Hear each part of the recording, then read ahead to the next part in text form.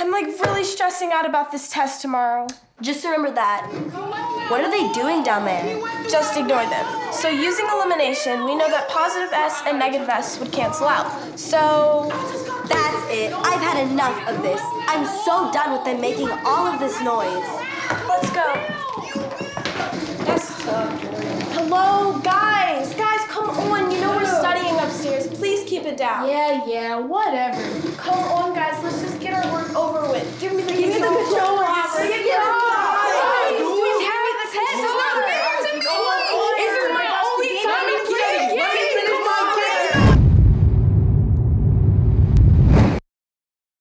Wait, what just happened? I think we all just switched bodies. Wait, wait, wait. Guys, look at the screen. I think I've seen this in Algenite before.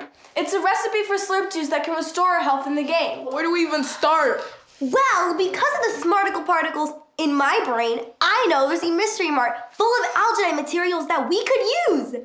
Let's roll, dudes.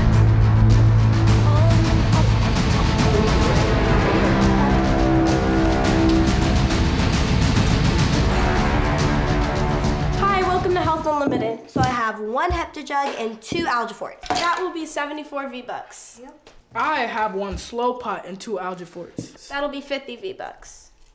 I have one soul pot and two Heptajug. That'll be 57 V-Bucks. Thank you. Um, for some odd reason, the system didn't seem to scan this Algifort. You're gonna have to wait for the system to reboot. We don't have that kind of time. Luckily, I think I know how to solve it using elimination. I purchased two Heptajugs and one soul pot for 74 V-Bucks. Jordan purchased two Algiforts and one soul pot for 50 V-Bucks. And Robert purchased one Heptajugs and two Algiforts for 57 V-Bucks. Let's make Heptajugs H, Algiforts A, and slow pots S. We know that our first equation is 2H plus S equals 74 V-Bucks. And our second equation is 2a plus s equals 50 V-Bucks. And our third equation is h plus 2a equals 57 V-Bucks.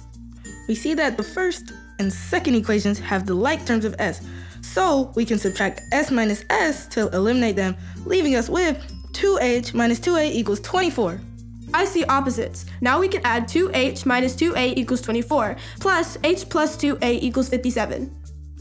We know that 3h equals 81. Then we will divide 3 by both sides to get h equals 27.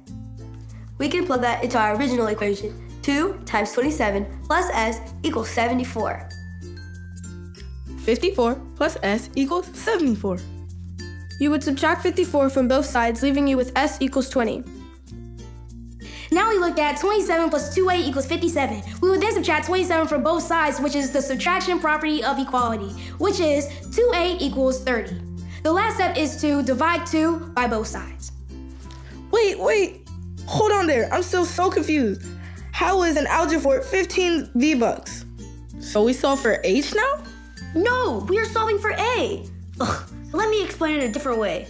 Here are the equations again. The three equations are 2H plus S equals 74, 2A plus S equals 50, and H plus 2A equals 57.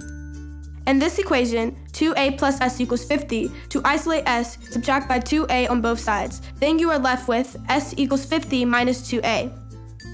Good job, my dude. You look at equation 3 and subtract by 2A on both sides. You are then left with H equals 57 minus 2A.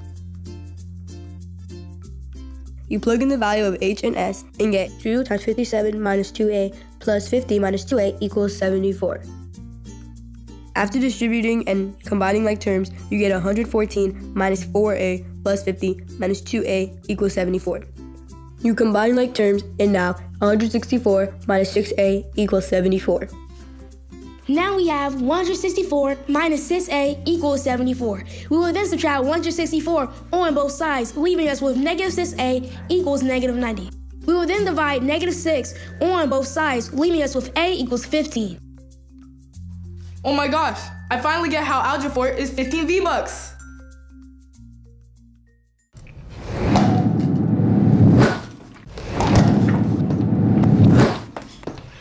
We did it! After working through that problem together, I think we all will ace this test tomorrow. Even you, Robert.